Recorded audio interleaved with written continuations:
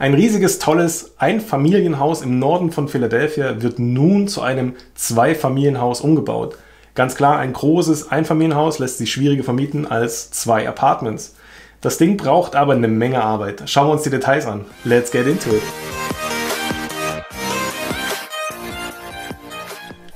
Willkommen bei der Lucas Show. Hier in diesem Video, wie eingangs angekündigt, geht es um den Umbau eines riesigen Einfamilienhauses. Du siehst das Haus in diesem Video vor dem Umbau, beziehungsweise wir haben gerade damit angefangen. Das Haus steht im Norden von Philadelphia, nur ein paar Blöcke von der Temple-Universität entfernt. Temple ist äh, eine Riesenuniversität, das ist auch ein riesen Wirtschaftsfaktor in der Innenstadt von Philadelphia. Den Link zu Temple, den setze ich dir einfach mal unter das Video. Schau es dir an, eine Riesenuniversität, eine Menge Fakultäten, eben ein Wirtschaftsfaktor. Und genau in der Nähe dieser Universität, ein paar Blöcke davon entfernt, steht dieses noch Einfamilienhaus. Am Ende des Videos erfährst du, warum sich die Bauarbeiten verzögern und was das Ganze schon wieder mit einem Polizeieinsatz zu tun hat. Alle Details am Ende des Videos. Zum Hintergrund des Hauses. Wie bereits eingangs erwähnt, das Haus liegt in der Nähe der großen Tempel-Universität, also einiger Fakultäten davon. Ganz logisch, großes Haus. In diesem Fall wurde von einer Studenten-WG als Ganzes gemietet. Das heißt, die haben sich das untereinander als Zimmer untervermietet. Das war der Hintergrund beim Kauf dieses Hauses. Leider war das Objekt vom vorherigen Eigentümer komplett nicht instand gehalten worden. Also hier sagt man dazu, es war ein Disrepair. Und dieses Disrepair, ja, das hat halt nach und nach zu Problemen geführt. Aber das Ziel der Studenten war natürlich, so lange wie möglich in diesem Haus zu bleiben, in der Nähe der Uni, das war bequem, die müssen nicht umziehen. Und das war natürlich auch im Interesse des Investors. Das heißt, je weniger Turnover, also je weniger Ein- und Auszug an diesem Haus, desto besser. Das heißt, es war ein Haus in Disrepair, voll vermietet und die Studenten haben hoch und heilig geschworen, dass sie sich darum kümmern und dass sie die Probleme in Eigenregie lösen. Ja, die WG-Verwaltung, die äh, klappte jetzt nicht so gut. Das äh, kam einfach immer mehr und mehr zusammen. Es gab undichte Rohre, Wasserheizer war äh, kaputt gegangen, stand schief, Gasprobleme, you name it. Also da kam eine Menge zusammen, was die Jungs, alles Geisteswissenschaftler, jetzt nicht mit der Handarbeit irgendwie äh, umsetzen konnten. Keine Kritik an Geisteswissenschaftlern, da gibt es auch fähige Handwerker. Diese Jungs gehörten nicht dazu. Da sich ja nun dann eben die Meldungen häuften, das heißt, äh, die Handwerker mussten immer wieder ausrücken, ein-, zweimal die Woche sogar, um irgendwelche Probleme zu fixen, musste irgendwann mal ein Schlussstrich gezogen werden und gesagt werden, Jungs, seht's ein, ihr könnt es nicht, ihr zieht bitte aus, das Ganze wird jetzt eine Gefährdung, ihr müsst ausziehen, wir renovieren das Haus komplett, weil es geht nicht, wenn jemand drin wohnt, dass wir Wände rausreißen, Rohre rausreißen, Bäder entfernen und so weiter und so fort. Eine Kernsanierung kann nicht stattfinden, wenn ihr noch drin seid. Das heißt, der ganze Zustand, wie er dann war, führte eben zur Räumung des Hauses. Die einen mochten das, die anderen mochten es nicht. Aber klar, wer will denn auf einer Baustelle wohnen? Das macht keinen Sinn und es musste gemacht werden. Also zogen die Jungs dann aus. Aber schauen wir uns nochmal alle Fakten zu diesem Haus jetzt bei Zillow an. Das ist auch bei Zillow, also jedes Haus hier ist bei der Plattform Zillow und wir können uns auch die Daten von vor zwei Jahren zu diesem Haus nochmal anschauen, die Bilder von damals und alle Fakten. Also auf geht's zu Zillow. Ach ja, und den Link, den findest du natürlich auch unter diesem Video. Hier siehst du das Listing von diesem Haus bei Zillow. Wir sind hier in der 2248 Nord Park Avenue im Norden Phillies. Das ist hier die Karte dazu. Das heißt schön genau an der Broad Street, also fast an der Broad Street, ein Block von der Broad Street weg. Hier haben wir zum Beispiel auch Temple-Universität und äh, verschiedene Fakultäten und hier ist das Philly Stadtzentrum. Wir sind in der Mitte von Nord-Philadelphia mit diesem Haus. Was wissen wir zum Haus? Bei Kauf waren es fünf Bedrooms, drei Bäder auf 2300 Square Feet verteilt. Gekauft wurde das im Dezember 2020 für 205.000 Dollar as ist. Das heißt, so wie es war, in diesem Zustand, wie es war, ohne Reparaturen, die gemacht werden mussten und natürlich mit der Übernahme des bestehenden Mietvertrages der Studenten-WG. Nochmal der Vorteil, die WG konnte bleiben, wo sie war. Es gab keine Mieterhöhungen und für den Investor war das ein lohnendes Investment. Der Preis war richtig und wie du hier schon siehst, der Zestimate von Zillow heute stand nicht mal zwei Jahre später, 366.000 mit faktisch nichts tun, ist dieser Wertzuwachs hier entstanden. Nichts tun ist nicht ganz richtig. Es waren immer mal Handwerker draußen, die bei den Jungs da nach dem Rechten schauen mussten und äh, die Handwerkskunst der Studenten reparieren mussten. Was haben wir noch? Also, wir sehen hier den Zestimate. Also, wie gesagt, der Zestimate 366 ist nur ein Pi mal Daumen Wert. Ich würde ihn nicht für voll nehmen. Aber in der Region wird der Wert dieses Hauses schon liegen. Gucken wir uns die Bilder an. Also das sieht eigentlich ganz toll aus hier. Das ist ein rein Mittelhaus, Stadthaus würde ich es nennen. Das ist eine schöne ruhige Straße, also auch grün. Links, rechts große Bäume. Und die ganze Straße sieht eigentlich so aus. Also die Häuser sind alle ähnlicher Stil.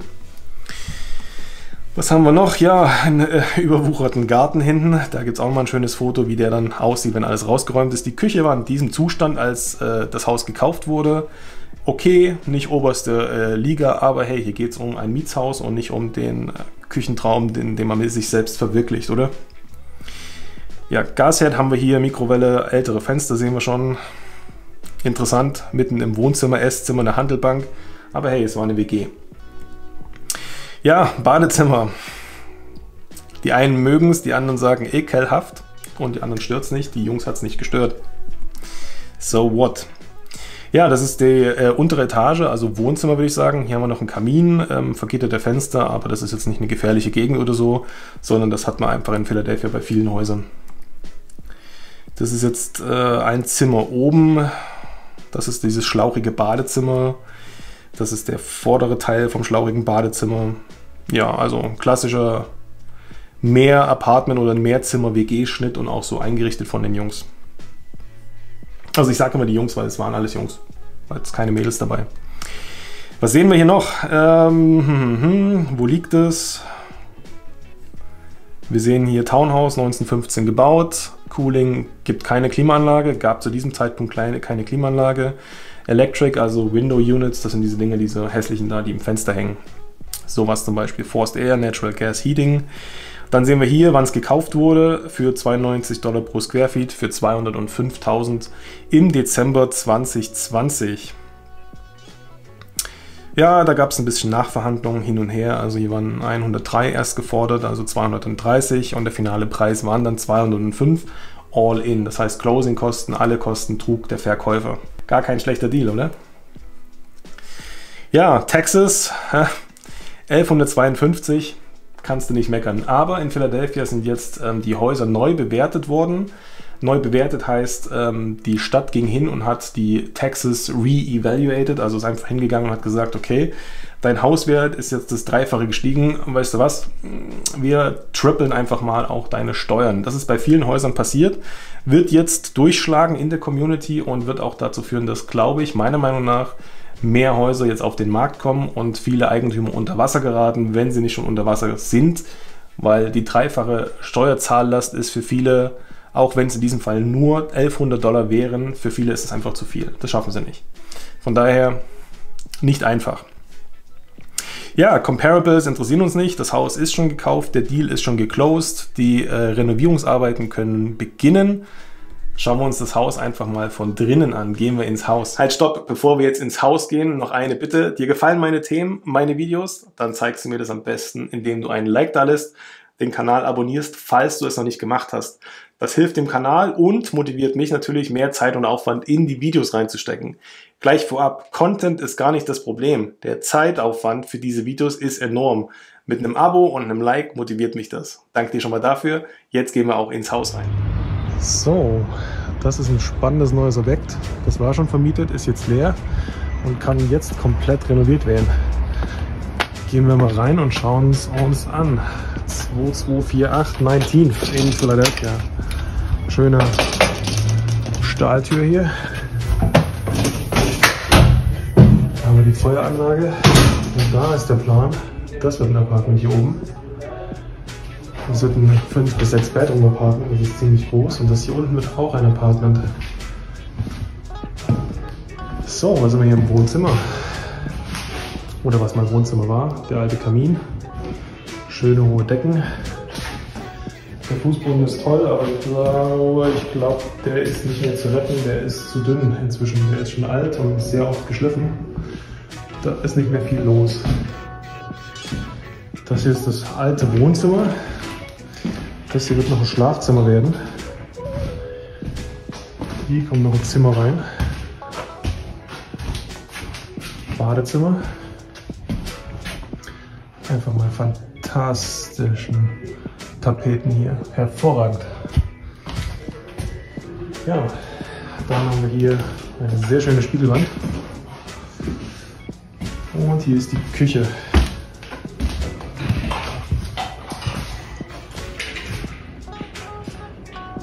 Das ist eigentlich alles da, Gasherd. Küche ist einfach weiß gehalten, beziehungsweise Holzfarbe, die wird nur gestrichen. Das hier ist ein bisschen Siding, also das kommt an die Seite vom Haus. Den Fußboden, aber schade, der ist glaube ich nicht mehr zu retten. Also mal schauen. Wir haben hier noch ein kleines Lüftungsloch in das neue obere Apartment.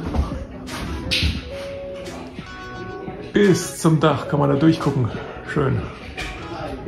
Also Plastering, also Plaster, äh, was heißt Plaster auf Deutsch? Also ich schreibe es mal in die Kommentare. Auf jeden Fall, das war an der Decke dran, an den Wänden dran und teilweise auch schon mit Trockenwand einfach mal überpinselt. Das hier war mal eine schöne Tür. Haben sie Holz reingemacht, das war mal Glas, glaube ich. Oben sehen wir gleich noch eine schöne doppelte Tür. Das sieht auf jeden Fall toll aus. Rohre sind schon mal neu. Das sieht gut aus. Das sah vorher ganz, ganz schlimm aus. Schauen wir mal im Keller. Hier haben wir ein paar neue Balken. Der Treppenaufgang war völlig verrottet. Keller hier wird ausgebaut. Lumber sind auch gerade, also Holz. Die Preise sind skyrocketed, also richtig durch die Decke gegangen. Das sind hier Werte, das sind Assets. Hier haben wir noch ein paar Columns, also einfach mal ein paar Stützpfeiler. Das Plumbing hier hinten war ein bisschen durch, das wurde auch neu gemacht. Elektrik ist eigentlich okay gewesen. Hier wird alles noch schön mit Trockenwand versiegelt und ausgebaut. Riesenheizungsanlage. Naja, riesig ist sie nicht unbedingt, aber stark ist sie schon. Gas, Water Heater, ein größerer, weil es ein zwei bzw. drei Familienhaus, muss man sehen.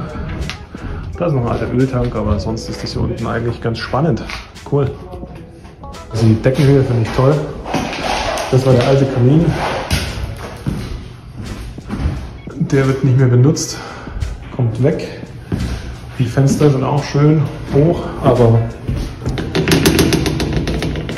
ausbruchs- oder einbruchsicher, je nachdem, wie man es nimmt. Ja, sieht doch eigentlich jetzt nicht schlecht aus, ne? Gehen wir mal hoch. Auch hier noch schön Fußboden.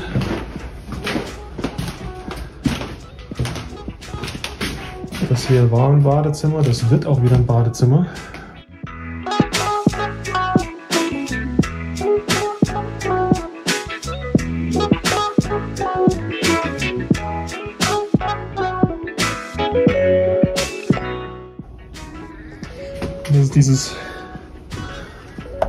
Latch und dann kommt so Plaster oben drauf und wurde so reingeschmiert, dass es hier so wie hier drüben so durchgedrückt wurde und dann, dann drin gehalten hat.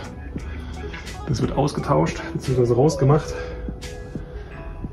und mit Drywall, also Trockenwand, verkleidet. Hier oben sieht man die andere Variante, wie sie das vorher gemacht haben, also Plastering unten drunter. Und weil man zu faul war, das Plastering runter zu machen, hat man einfach Trockenwand drüber gemacht. Fertig ist der Lack. Schön. Jo, die Anschlüsse haben wir hier. Und so sieht ein Badezimmer ohne Badezimmer aus. Dann haben wir hier diese schönen Double Swing Doors, also Double Doors. Die sind eigentlich wirklich super. Echtes Glas da drin. Und ja, der Fußboden, wie gesagt, der braucht Liebe, aber der kann auch wieder schön werden. Oben die Decke, die war abgehängt, haben sie runtergemacht. Und jetzt sieht man hier dieses alte Crown Molding heißt das, also diese Verkleidung in den Ecken. Aber das muss auch neu gemacht werden. Also hier war mal ein bisschen, ein bisschen Wasserschaden. Ja, aber sieht doch geil aus eigentlich. Also das kann schon schön werden hier. Cool, da haben wir einen Kleiderschrank, da oben ist ein kleiner Storage-Bereich. Da hat es mal reingeregnet, wie es ausschaut. Aber das ist das Gute an der alten Tapete, die man da oben sieht. Da sieht man, wo die Flächen und wo die Problemzonen waren. Strom, alles neu verlegt. Oh, gehen wir mal vor. Also Fußboden sieht geil aus. Gut, geile Definitionssache. Also das Badezimmer ist von zwei Seiten zugänglich. Da ist der Hof. Das wäre jetzt hier ein Schlafzimmer. Hinten, das wäre ein anderes Schlafzimmer. Kleiderschrank. Ja, und hier haben wir auch das dritte Schlafzimmer auf dieser Etage. Auch wieder mit so einem schönen eingebauten Wandschrank. Und wirklich einen geschmackvollen Stil von Tapeten in diesem Haus. Genau, also das wird auch wieder schön gemacht. Also der Fußboden. Da kommt nochmal so ein Hardwood Flooring Porn. Hier sieht man, dass der Kleiderschrank nachträglich eingebaut wurde. Cool. Gehen wir noch eins hoch und dann sind wir da, glaube ich, auch schon oben angekommen. Da gibt es dann nur noch die Decke. Die Treppe, die hängt ein bisschen zur Seite. Ist aber nicht so schlimm. Dann haben wir hier das, wenn ich richtig gezählt habe, vierte Schlafzimmer, das fünfte Schlafzimmer und das sechste Schlafzimmer. Also auch hier wieder Kleiderschrank eingebaut. Sicherheitsmaßnahme, der Fernsehsimulator. Was eigentlich hier eine nette Straße, recht nah an der Tempel-Universität, Stadtzentrum Philly fast. Also ist eigentlich schon Zentrum. Kleiderschrank. Nochmal ein Schlafzimmer. Kleiderschrank. Die Wand hier kommt zu. Das ist dann der Durchgang zum Badezimmer. Gehen wir mal außen rum. Das ist das Badezimmer. Das war so ein bisschen schlauchig. Da kamen jetzt hier ein paar Wände raus und das sieht dann neu so aus. Da hinten ist Dusche, Toilette und hier ist Waschbecken. Sehr gut. Und dann jetzt hier das letzte Schlafzimmer noch. Das ist klein, kann auch ein Office sein. Und da hinten haben wir schon die Temple-Universität in die Richtung. Ja, ganz cool. Also Lüftungsanlage, Heizungsanlage ist schon da, versorgt das ganze Haus, fünf Schlafzimmer. Das wird ein interessantes Konzept. Mal gucken, was unten draus wird. Da ist noch die Überlegung, ob das eine neue Wohnung wird und ob das eine Wohnung bleibt, aber das wird noch entschieden. Da halte ich dich auf dem Laufenden darüber. Hier kann man richtig als Archäologe gucken, wie viele Schichten da wohl drunter sind. Also hier oben diese ganzen zwei Etagen werden eine Wohnung mit sechs Schlafzimmern bzw. fünf Schlafzimmern und einem Office. Das hier Office oder was auch immer. Und unten wird auch eine Wohnung werden. Das ist spannend, oder? Ups. Wenn das hier mal anschaut. Gerade ist anders.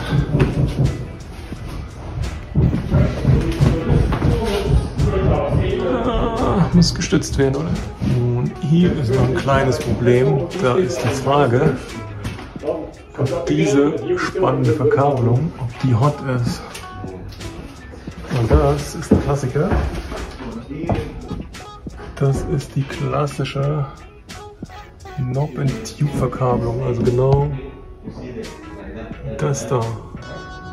Wie geht's jetzt weiter? Du hast gerade im Durchgang gesehen, die Renovierungsarbeiten sind in vollem Gange. Da gab es aber ein paar Verzögerungen und Rückschläge. Die Klimaanlage für dieses Haus musste komplett neu gemacht werden.